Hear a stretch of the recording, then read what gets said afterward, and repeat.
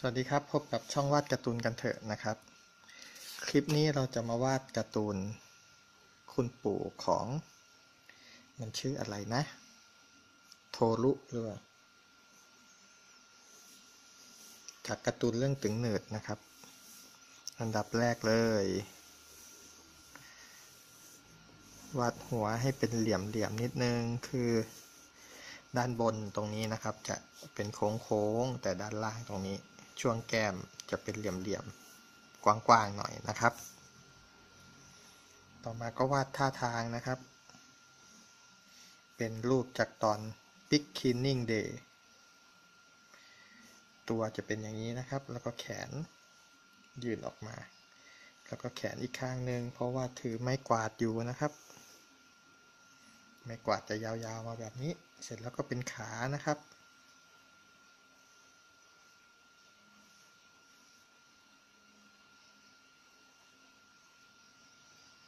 แล้วก็เป็นขา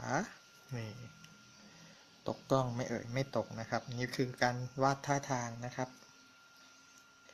แล้วก็มือจะกำไม้กวาดอยู่ แล้วก็ไม้กวาด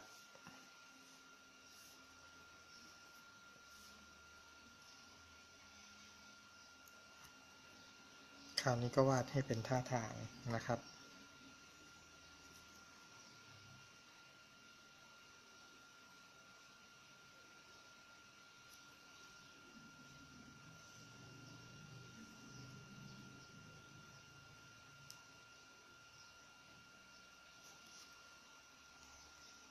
นี้เป็นมือนะครับ มือกำปั้น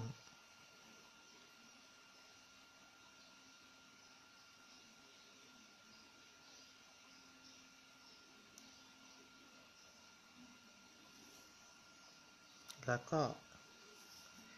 แขนข้างนี้ก็จะยาวมาที่มือที่วาดกลมๆไว้นะครับ แล้วก็ พยายามวาดมือให้สัมพันธ์กับ ตัวไม้กวาดนะครับ เราก็จะวาดไม้กวาดยาวออกไปก่อนเบาๆนะครับ แต่นี่จะขีดเข้มหน่อยเพื่อให้น้องๆได้เห็นนะครับ ตรงนี้ก็เป็นไม้กวาดคราวนี้อุ้งมือก็จะต้อง อยู่รอบไม้กวาดนะครับ นิ้วโป้งจะออกมาด้านนี้มองไม่เห็นละต่อมาก็นิ้วอื่นๆนะครับ นิ้วชี้ นิ้วกลาง นิ้วนาง นิ้วก้อยนะครับ คราวนี้ก็นิ้วโป้งก็จะทะลุไม้กวาดออกมา นี่ ฝึกวาดบ่อยๆนะครับ เราจะไม่ว่าไม่อยากน้องบางคนดูแล้วก็ยากจังเลยก็ต้องฝึกบ่อยๆนะครับ ต่อไปก็วาดลวดลายของเสื้อ นิดๆหน่อยๆนะครับ คราวนี้มาวาดหน้านะครับ หน้าของคุณปู่ จะหันข้างออกไปนะครับ เพราะว่า พอหันข้างอย่างนี้ปุ๊บเราก็จะเห็นหูอยู่ด้านนี้ ด้านนี้ก็จะไม่ค่อยเห็นนะครับ มีทรงผม ด้านนี้ก็เห็นนิดนึง แล้วขึ้นไปด้านบนก็จะเป็นหัวล้านนะครับปุ๊บนี่แล้วก็ตานะครับ ตาโตโตโค้งๆมีตาด้านล่างด้วย ข้างนี้ก็โค้งๆนะครับ แล้วก็ขอบตาด้านล่าง แล้วก็ตาดำจมูกเป็นจมูกสองข้างเหมือนฮิปโปนะครับ แล้วก็ปากฮึบฮึบฮึบมีรอยย่นที่ปากนิดหนึ่งนะครับ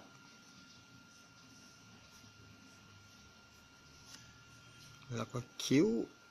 คิ้วหนาๆหน่อยนะครับ คุณปู่ ปู่ของโทรุ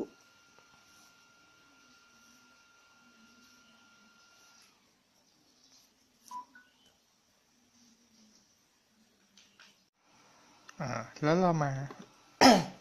มาตัดเส้นกันต่อนะครับสำหรับคุณปู่ของโทรุนะครับอันดับแรกก็ ตัดเส้นรอบนอกนะครับ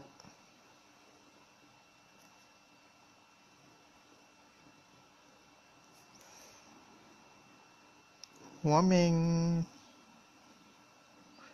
ปุ๊บปุ๊บปุ๊บปุ๊บปุ๊บปุ๊บปุ๊บปุ๊บเออแล้วก็ผมนะครับ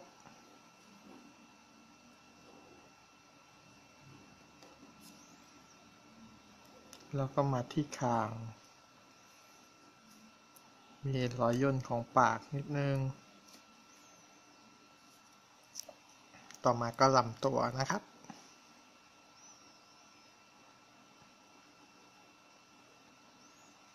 ในคลิปนี้เราจะใช้ปากกาเส้นใหญ่ตัดเส้นรอบนอกนะครับ แล้วก็ใช้ปากกาที่เล็กลงเก็บรายละเอียดด้านใน ไม่งั้น รายละเอียดมันจะเละมากนะครับ เพราะว่ามันมีรายละเอียดส่วนที่เล็กๆเล็กๆเยอะแยะไปหมดนะครับตรงไม้กวาดเราอาจจะวาดปลายไม้กวาดให้บานออกไปนิดนึงนะครับ อาจจะมีแบบเป็นเส้นที่ไม่ติดกัน เพราะว่าไม้กวาดมันไม่ได้เป็นแผ่นนะครับ มันเป็นเส้นๆแล้วก็รองเท้า ไม่ใช่รองเท้าสิ เป็นถุงเท้านะครับ เพราะว่าอยู่ในบ้าน อ้าว ต่อมานะครับ วาดผม ผมนี่นะครับ แล้วก็ คิ้ว คิ้วนะครับ คิ้ว มีแบบ เส้นเลือดปูดขึ้นมาบนหัวเลยนะครับ แสดงท่าทางจริงจังมาก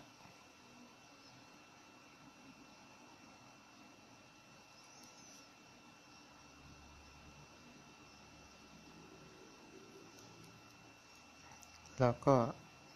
ล่องในหูนะครับ จมูก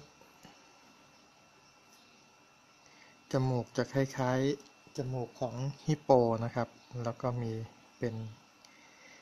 รอยย่น เป็นคล้ายๆ หนวดอะไรประมาณนี้นะครับ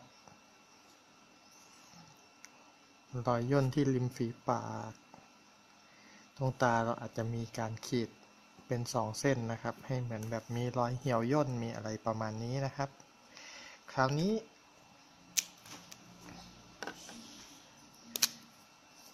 ส่วนที่เป็นขอบตาบน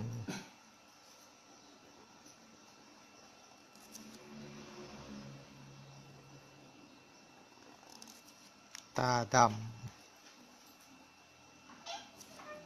ตาดำ แล้วก็ปากใช้ปากกาใหญ่หน่อย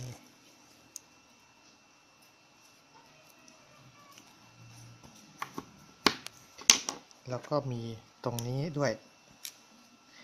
ฟันนะครับ ฟันฟันหลอ ฟันขึ้นมาหนึ่งซี่ ต่อมาก็มาเก็บรายละเอียด ภายในลำตัวนะครับ เสื้อคอเสื้อ แล้วก็มือ นิ้ว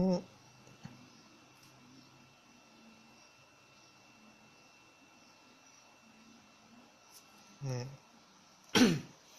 มือเสร็จไปแล้วนะครับข้างหนึ่ง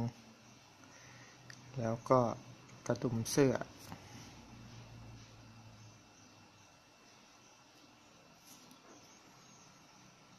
มาวาดมืออีกข้างหนึ่งนะครับ เป็นนิ้วโป้งขึ้นมา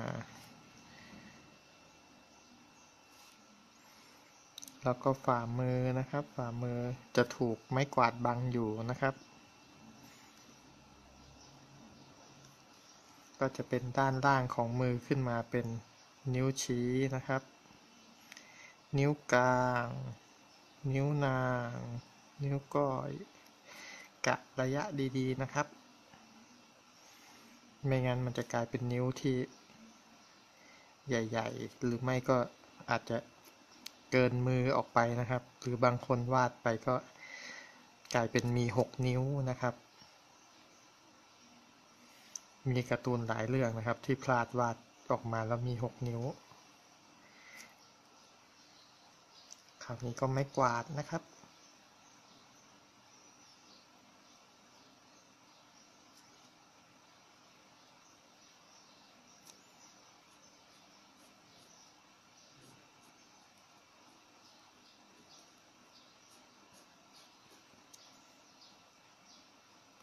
ถุงเท้าวาดลวดลายของถุงเท้าลงไปนิดนึงแล้วก็ขาอ้าเสร็จแล้วนะครับ ปู่ของโทรุนะครับ จากครอบครัวตึงเนิดนะครับ ก็ไม่ยากเลยใช่ไหมเอ่ยก็ลองหัดวาดกันดูนะครับสำหรับคลิปนี้ก็จบแค่นี้นะครับ สวัสดีครับ